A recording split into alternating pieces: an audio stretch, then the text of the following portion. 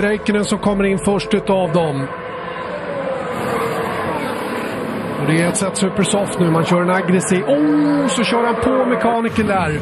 Fick de fast hjul och sådana saker ordentligt? Nej, nej, nej. De har inte fått fast det. Och Kimi Räikkönens race är därmed eh, totalförstört. Det här blir foten. Nej, det där var ju superolyckligt. Den andra inte mätt så när det gäller depåstopp för Kimi Räikkönen som här klättrar ur sin bil. Det vill sig inte för eh, finländaren. Usch, otäckt. Det klär ut på ett eh, sätt supersoft. Mm. Ganska givet att han skulle välja det. Hartley närmast bakom sig. Åker nu väldigt mycket fortare. 36,6 jämfört med Erikssons 38,5 senaste rundan. Men han hade ett långsamt Ja, för det är samma, samma hjulupphängningar på de här bilarna och eller likadana. Så att eh, jag vet inte 17 vad det är de eh, har problem med egentligen. Andra gången alltså under den här helgen som Kimmy har problem med ett av depåstopp, eller inte Kimmy men mekanikerna.